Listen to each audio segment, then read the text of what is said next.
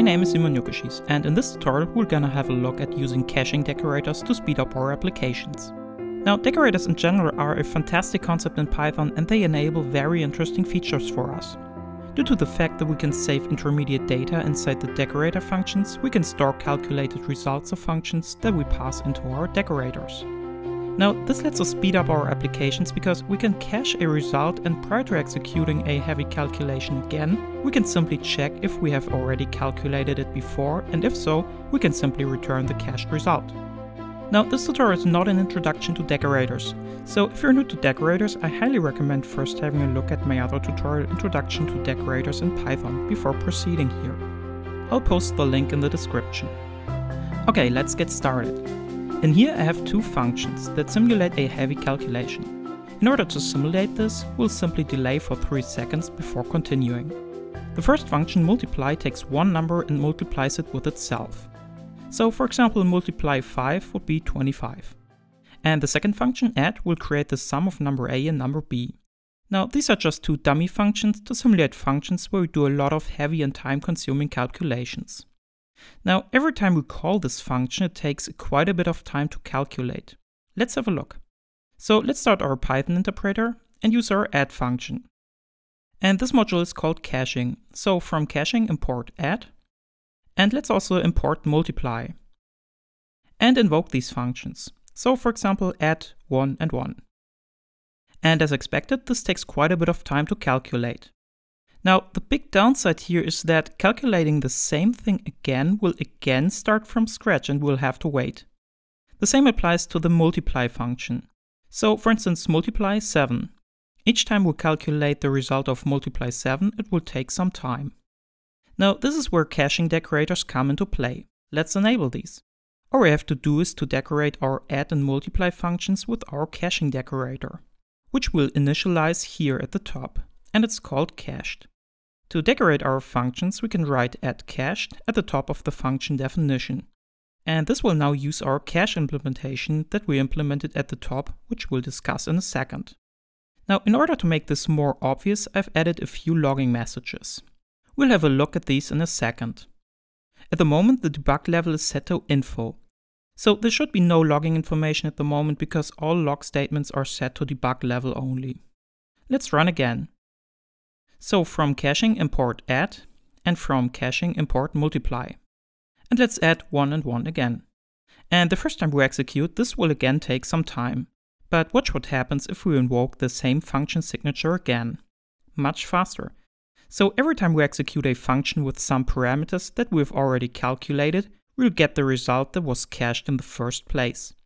So let's also invoke our multiply function again, multiply 7.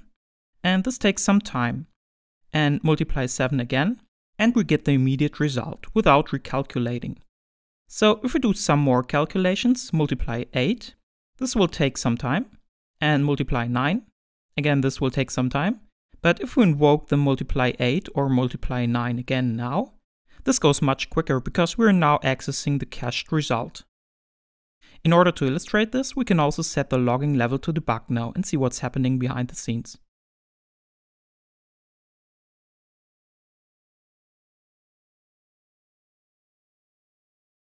So here we debug that we are executing our add function with the arguments 1 and 1. Then we are calculating the result and storing it in our cache. The next time we invoke add with the same arguments, we see again that we are using this signature.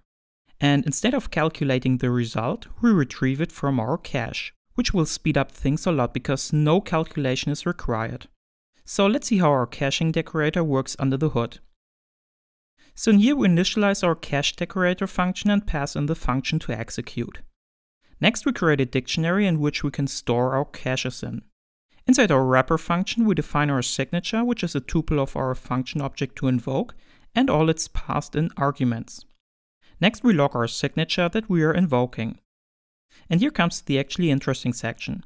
Now in here we check if a key for our signature is already saved in our cache dictionary. If it is, then we log to return the cache data and simply return the value from our cache dictionary. And if the signature is not stored inside our cache dictionary, then we'll log to calculate it now. And here we create a variable result, and its value is the return value of invoking our function that we have passed into our decorator function, where we do a tuple unpacking to get in all the needed arguments. Now this is useful to not limit ourselves on a fixed number of arguments, because if we have a quick look at the add and multiply functions at the bottom, we see that they have a different length of arguments that we have to pass in. Using a tuple unpacking in here, we guarantee that all needed arguments are passed into our function to invoke. So after calculating the result, we use another logging message that we are about to store the result in our cache. So we use our cache dictionary and use our signature as key and store the result as a value. Now, due to the fact that we use this function as a decorator, the cache won't get out of scope and we can keep all the previously calculated results in memory. Next we return the result, which is either coming from our calculation or from our cache, and return the wrapped function. Perfect. This enables us now using cache data whenever we have already calculated something using a function and given arguments. This will dramatically speed up our applications because we don't need to calculate the same thing over and over again. I hope this illustrated to you the power of decorators. Now, there are a lot of more situations where using decorators can be useful to improve our applications and reduce code duplication. For example, we can use them to time a function, execute code repeatedly, or to ensure that we have set our environment correctly before executing a function. If you have any questions, please post them below and I'll try to answer them. If you like this tutorial, please give a thumbs up and feel free to subscribe to get news about new and upcoming tutorials. And as always, if you would like to see a future tutorial about a specific topic, just let me know. Again, my name is Simon Jokuschies, and thanks for watching.